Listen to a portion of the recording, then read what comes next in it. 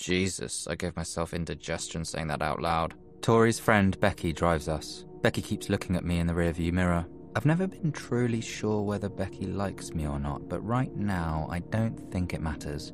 It only takes a minute to drive there, but Tori says we have to drive because a quick getaway will be vital to the success of the gesture. Sitting in the back seat, I flick through the photos again. Should I post all of them through the letterbox? Just a few? Just one? I make the decision and take a pen out of my pocket. Nick. Nicky, is that you, love? My mum calls from the kitchen. Yeah, I shout. You've got post. I groan and rise from the sofa. I stumble towards the kitchen and walk towards the table where there's a brown envelope with the word Nick on it. No address. It's in Charlie's handwriting. And my stomach lurches harder than it has done all weekend. It's from Charlie. Mum gapes.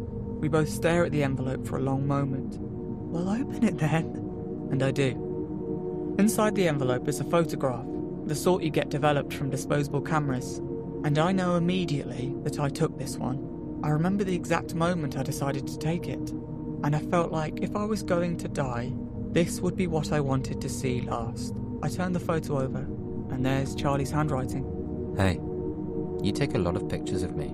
Do you have a crush on me or something? How embarrassing. If you want to talk, I'll be at the Truham Primary School Summer Fete tomorrow, Tuesday, at 3 o'clock. Wow, this isn't a rom com, lol. I'm sorry for how sappy this is. BTW, I love you. Okay, bye. Kiss, kiss, kiss, kiss.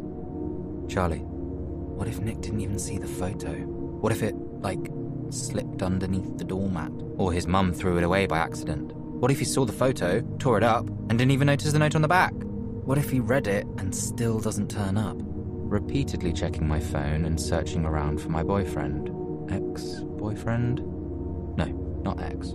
Not yet. I'm not giving up yet. At quarter to three, I go and wait near the entrance to the field, just inside the tennis court. It reminds me too much of the Truham tennis court, the day when all this had started.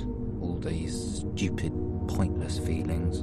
Charlie Spring, 1454. I'm in the tennis court. If you're coming, he doesn't text me back. It doesn't even say he's read the message. I feel myself start to sweat a little. Is this it? Am I going to give up after this? Am I going to be able to give up? What am I going to say to him? Am I just going to beg him not to break up with me? What if he turns up and still says he wants to break up? I take a deep breath. This is it, I guess. I look up and watch as Nick walks through the tennis court gate